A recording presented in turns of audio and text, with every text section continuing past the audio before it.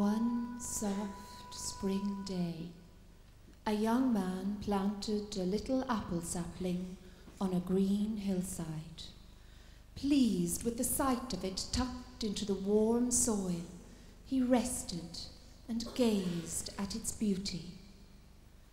Just then, a robin with a damaged wing hopped onto the soil above the newly planted roots and peeked up to the top branch, eyeing its leaves quivering in the breeze. The young man whispered, I will lift you up.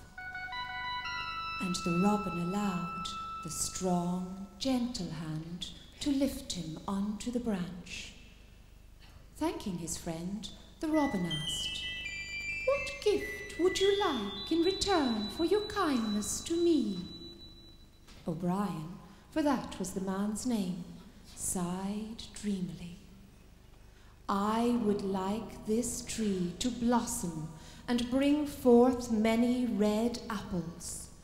It would be so wonderful to have such beautiful fruit to share with my friends and with the strangers who pass along this way. With this fruit, I would offer the hand of friendship and peace. After a long silence, O'Brien turned again to look at the little robin, but found he was no longer there. Blushing at his own simplicity, the young man bent to pick up the stick which lay at his side, for he was lame from birth. But what is this? A flutter of tiny birds flew round and round his head, and O'Brien could see a streak of red forming a fiery circle in the sky above him, and with one swoop, all the little robins lifted his stick into the air. O'Brien found himself dancing and jumping for joy at the sight, for such beauty he had never seen. The robin called, You wish has brought healing to my broken wing and your own crooked limp. Now dance and use your talent to bring comfort and joy to many people, and let your life bear forth the fruitfulness you wished for.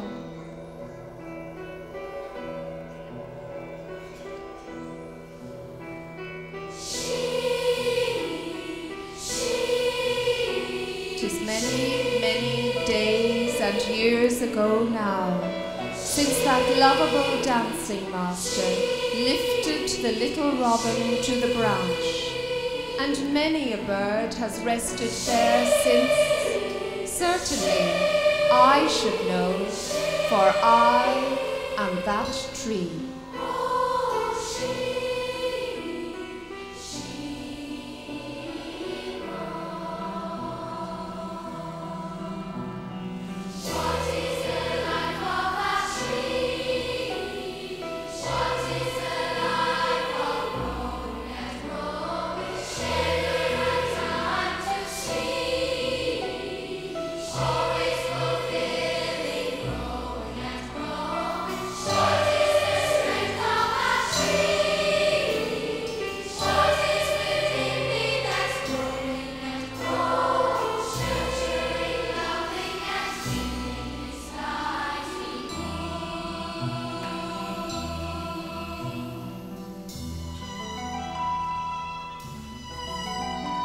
Dancing master wanted me to be, and so I am. I've life in me to share, and that life is stirred up sometimes by the imagination of the wind. Come under my shelter and be lulled. Hide under my boughs and listen. There's an old man sleeping down at my feet, but he won't mind you, for a kind and gentle man is he.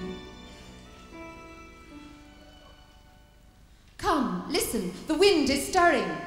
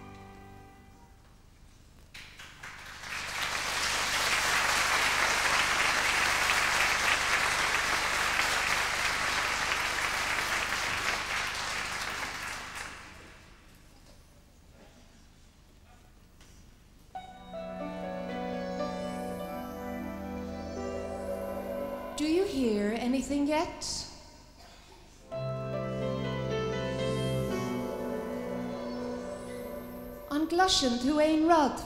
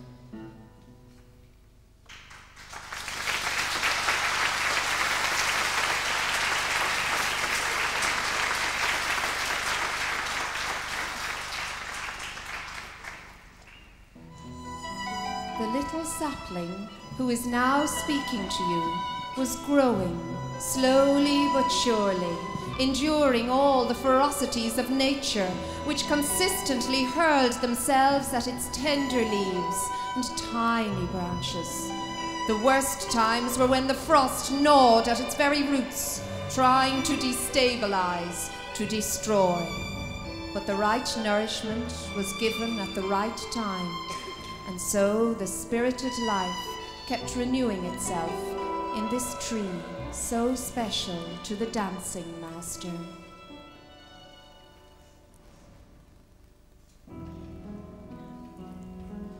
So too did the love between the young O'Brien and his new bride renew itself with every passing hour. A little treasure was born to them, awash with love.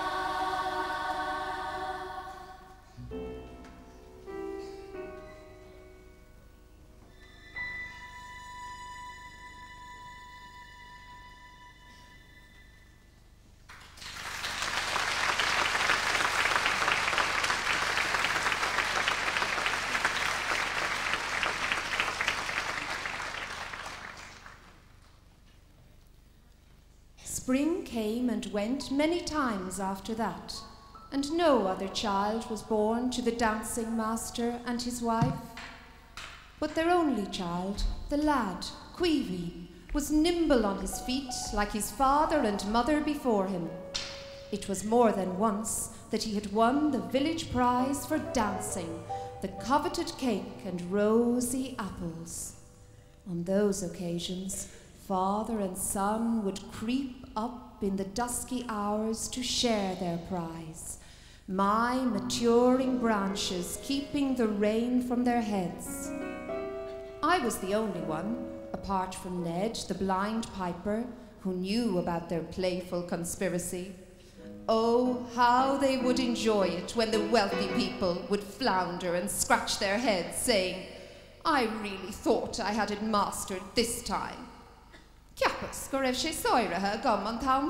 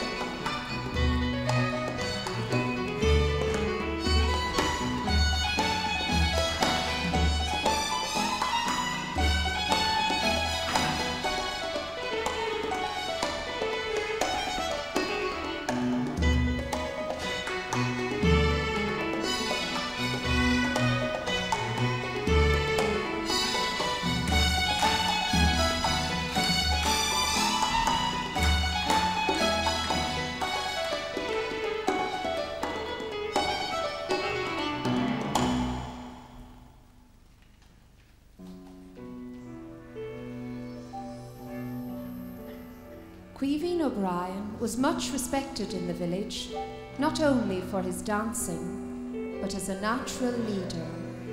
And as the years rolled by, he began to be influenced by rumours and stories of quite a different nature.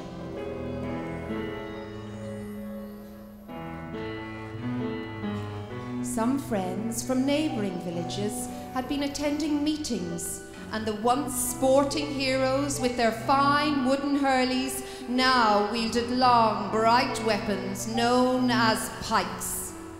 There were no longer smiles on the people's faces in the village squares. Spies lurked in the shadows.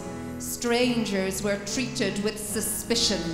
The welcomes had dwindled to a mere flicker and worst of all, the dancing stopped.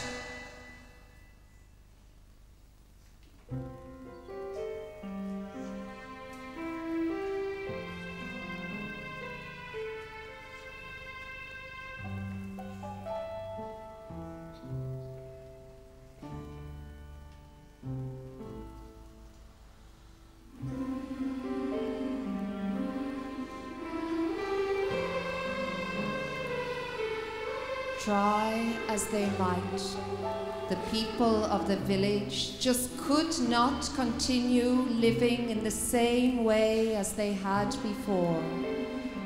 Even O'Brien, the dancing master, did not succeed in gathering the villagers for their regular sessions of dancing and crack. There was nothing to celebrate. The words of the robin now seemed like a dream. Dance, use your talent to bring comfort and joy to many people, and let your living bear forth the fruitfulness you wished for. And strange, how strange it was to O'Brien that the apple tree had never produced any fruit. Thank you.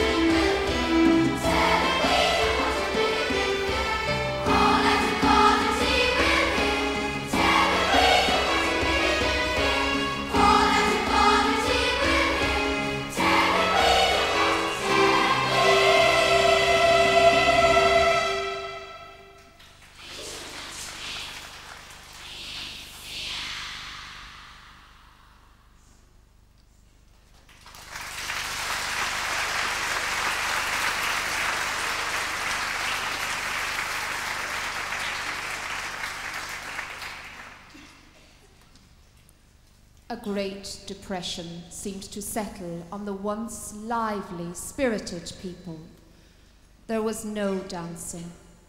O'Brien began to limp again. The man of the cloth was torn between God urging him to trust and the injustice all around. He could see only too well the change that had come in the fun loving boys who looked to him to lead them.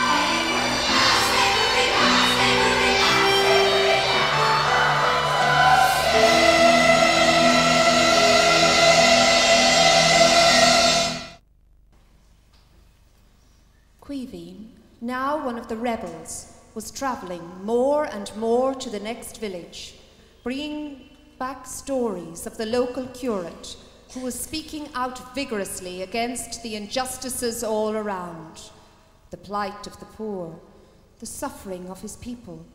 These were the topics of the sermons frequently preached from the pulpit, and the number of sympathetic listeners grew and grew until one day, with fire in his eyes, Caoimhín was heard exclaiming, He's one of us! The tide is turning!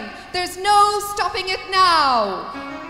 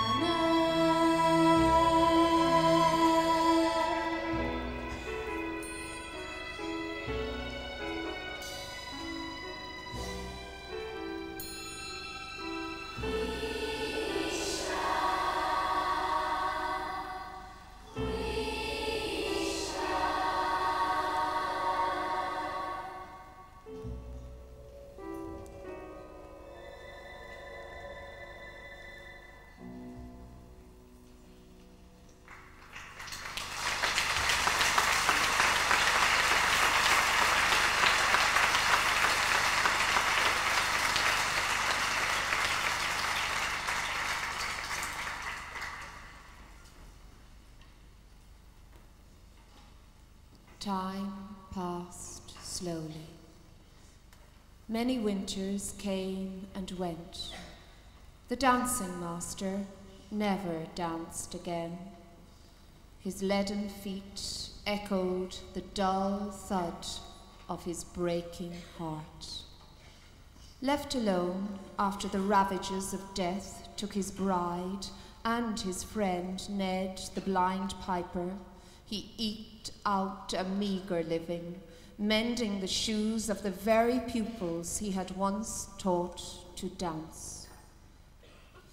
Often the old master would climb the hill to the apple tree and would bring his three treasures the ring he had put on the finger of his bride, Caoimhín's first dancing shoes, and old Ned's pipes. Looking at them, memories of their beloved owners flooded back, and a semblance of life seemed to trickle into his worn out feet. And in his dreams, his feet twitched, and he would think he was dancing again. But then the cold wind would waken him, and he would find he was alone once more. Until, that is, one moonlit night, while sleeping under the apple tree, his three beloved friends came to him in a dream. But this time they were accompanied by a beautiful child. The child seemed to beckon to our old master to come to him to reach out and take him up in his aching arms.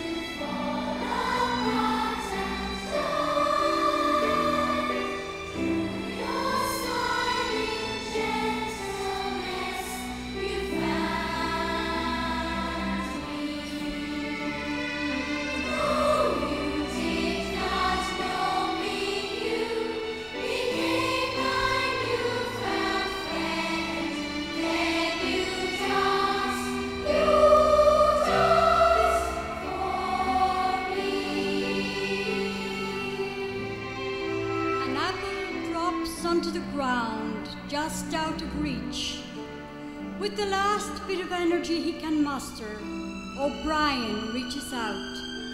He sees the reflection of the child's excited face in the shiny apple and exclaims, I will lift you up. I will lift you up. Together we will dance forever.